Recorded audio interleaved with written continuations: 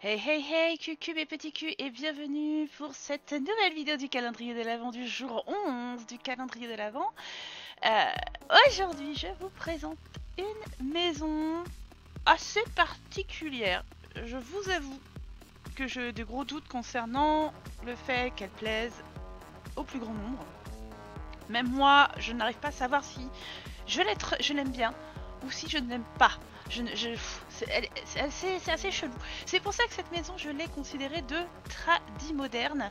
Euh, je vais vous expliquer pourquoi. Ouais, déjà, je galère déjà avec euh, l'étage et tout ça. En fait, j'avais une idée, euh, mais je savais pas trop comment la, la réaliser, puisque cette maison tradi moderne, on va dire, hein, elle a un toit dit traditionnel avec le truc en deux pentes là, le machin bidule là. C'est assez, un, assez un bloc en fait, un gros bloc sous un toit, mais le reste fait moderne dans le sens où il y a une espèce d'extension cette espèce de méga grosse cheminée que vous avez vu, ce n'est pas une cheminée, hein, c'est une extension que j'ai fait bien ressortir du toit en fait. Bon, c'est bizarre, je je vous cache pas, hein, c'est assez chelou. Mais euh, quand même. Et puis, euh, il y a ces grandes fenêtres euh, et des fenêtres comme ça que j'ai installées qui sont des fenêtres qui viennent avec université. Qui font le côté aussi moderne. Du coup, c'est assez étrange. Vous voyez que là, je, me je cherche encore, je me dis, ouais, en fait, je veux que ce soit centré, mais en fait, non, mais en fait, oui. Il y a quelque chose qui me dérange, j'arrive pas à savoir ce que c'est. Euh, j'ai envie de mettre des fenêtres euh, euh, qui sont longues en hauteur, tout ça, des universités, parce qu'elles sont très sympas, elles sont très modernes. Mais en même temps, il va pas avoir beaucoup de lumière. Donc je me suis dit, bon, bah finalement, je vais mettre les longues d'université plus sur le côté qui donne sur la rue, comme si on voulait quand même avoir de la lumière, mais pas trop pour être vu, voilà, pour que les, les, gens et les voisins nous regardent, quoi. Et en même temps, voilà, j'ai fait ce petit renfoncement par rapport à l'extension, et je trouvais que ça donnait vachement bien en fait. Euh, au final, avec le tir enfoncement, l'espèce de mur et tout, ça donne un peu plus de cachet, un peu plus de profondeur. Et, euh, et après, j'ai un peu abusé des fenêtres euh, d'université. Je ne vous cache pas. Pareil pour les barrières. Par les barrières modernes, je trouve que c'est une vraie galère quand même. Hein. J'en trouve pas beaucoup qui sont sympas. J'ai mis celle-là, puis au final, je suis ouais, non, mais en fait, non, je suis pas très fan. Et puis voilà, j'ai changé. Puis après, je me suis posé la question est-ce que ça allait quand même dans le côté moderne aussi, on a cette espèce de, terrasse, là, cette, espèce de truc qui sort comme ça de la maison, qui fait une terrasse. Euh, je n'ai pas donné d'accès sur le dessus de la terrasse, mais vous pouvez le faire. Hein, il suffit d'ajouter une, porte, hein, tout simplement, pour sortir. Que vous pouvez, euh, profiter du haut de la terrasse euh, comme en étant un grand balcon. Moi, je ne l'ai pas fait parce que je voulais surtout que ce soit quelque chose d'abrité en fait, que la terrasse soit abritée. Voilà, je suis un peu confus parce que même moi je suis confuse dans la, construction de cette maison. Vous voyez bien que j'ai mis euh, des fenêtres allongées là de l'université vachement sur le côté. Euh, sur le côté, le côté côté rue surtout pour... Euh, voilà, pour, bah, pour cacher la visibilité. Alors que de toute façon, vous voyez bien que le soleil rentre de l'autre côté, du côté jardin. Et là, on a les grandes baies vitrées, qui, la lumière rentre, c'est très joli. C'est beaucoup plus agréable. Et je me suis dit que j'allais jouer là-dessus, en fait. beaucoup plus voilà, jouer sur la luminosité euh, et, les grandes baies vitrées. Tout en calant de temps en temps quand même une des fenêtres d'université, histoire de donner un rythme et euh, une concordance, c'est-à-dire que voilà, sur les côtés, il va y avoir des universités ou des baies vitrées. C'est un peu, un peu chelou, hein, cette maison, je vous cache pas. Euh, c'est pour ça qu'elle est particulière, je vous dis, même moi, je, suis pas sûre de, de savoir si j'aime ou pas. Voilà, c'est un peu, c'est un peu étrange, mais on s'y fait, on s'y habitue. Tout de suite à l'entrée, du coup, pareil, on a toujours un espace avec les escaliers hein, et puis euh, une salle d'eau qui est tout de suite à la porte. J'aime bien mettre des petites salles d'eau euh, tout de suite à la porte. Je trouve que c'est vachement pratique en fait.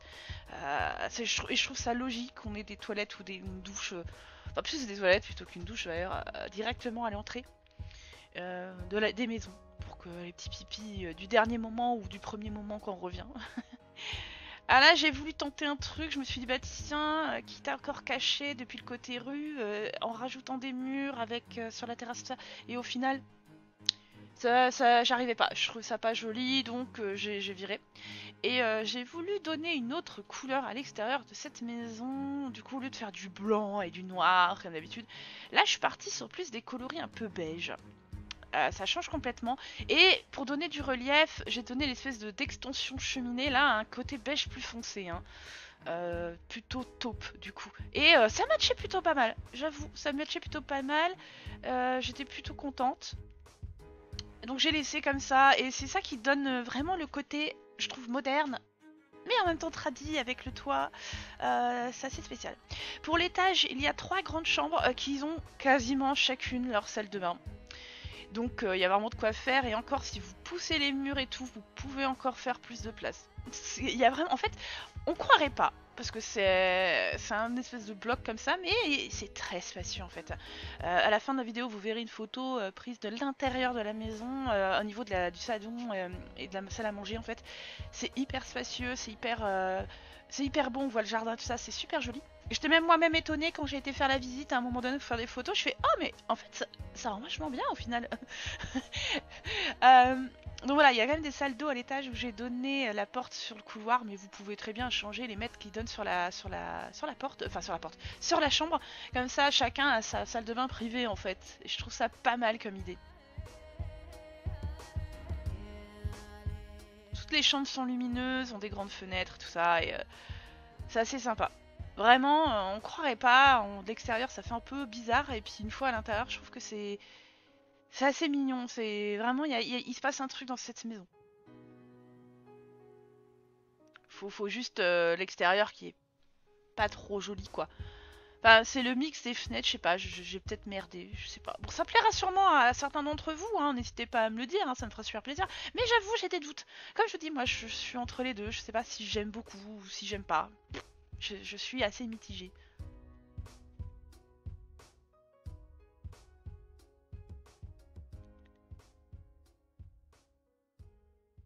Et je rechange encore la, barrière parce que je me dis non, ça marche vraiment pas comme ça, ça ne va pas. Surtout j'ai mis quelque chose de blanc alors que j'ai fait sur les tons beige pour l'extérieur, donc je me suis dit il fallait que je change pour avoir un ton pareil dans les tons beige. Puis au niveau du jardin, j'ai ressorti mes petits pins et mes sapins. Comme je vous ai dit, je suis en amour avec eux et que euh, je les mets un peu à toutes les sauces dans, toutes les maisons en ce moment. Je sais pas, je, les ai découverts, il était temps au bout de 5 années de ces deux jeux. Et euh, moi, je suis, ça fait 4 ans et demi que je joue au Sims 4. Donc il était temps que je les découvre. Et euh, j'ai ajouté quand même une petite pistouche, histoire de, bah, que, euh, voilà, que ce soit quand même, euh, voilà, il y a de la place dans le jardin, autant en profiter pour mettre quelque chose, quoi. Une petite piscine. Voilà les petits sapins de mon cœur dont je vous parlais. Ça va rajouter vraiment un petit cachet, je trouve, je sais pas, j'aime beaucoup. Et puis en même temps, ça permet de casser un peu la visibilité par rapport à la rue, encore une fois, là où je rajoute pas mal de, petits sapins et de pins.